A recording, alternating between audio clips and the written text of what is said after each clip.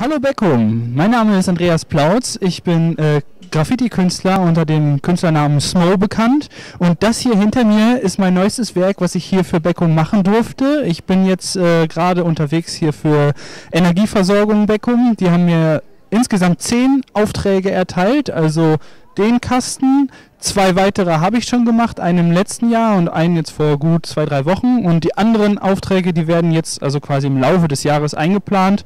Und ich freue mich schon riesig, ein bisschen was in Beckum an Farbe zu hinterlassen und ein bisschen dafür zu sorgen, dass es hier noch ein bisschen bunter und schöner ist.